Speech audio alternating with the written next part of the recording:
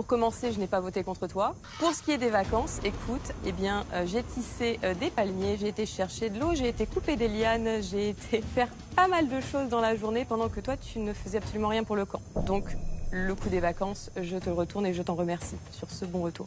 Oh